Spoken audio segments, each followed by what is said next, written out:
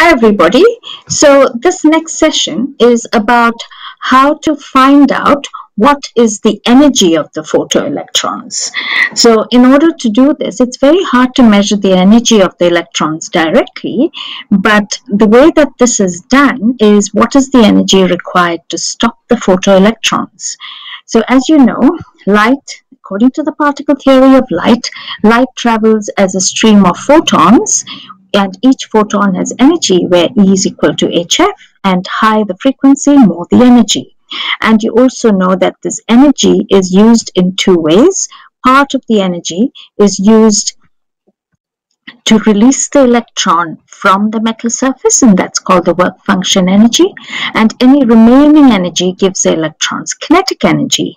So if we know what is the energy required to stop the electrons, then it is possible to find out how much energy the electrons have.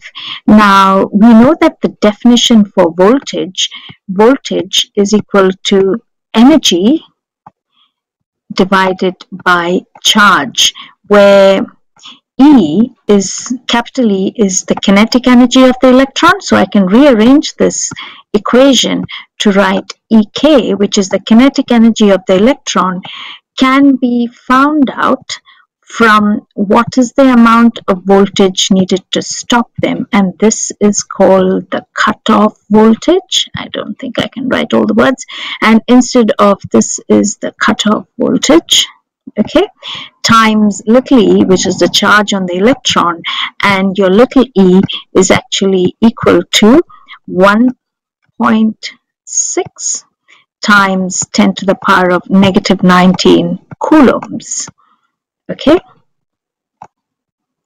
right so how do we stop the electrons from reaching the positive plate and the way that this is done is by giving the emitter plate a positive potential. In other words, I'm making the emitter more positive compared to the collector.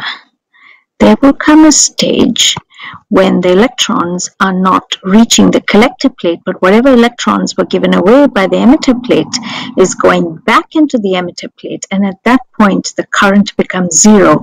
So the voltage at which the current becomes zero is your cutoff voltage. And if you can measure this cutoff voltage and you multiply it by 1.6 times 10 to the power of negative 19 coulombs, it is possible to get the energy of the photoelectron.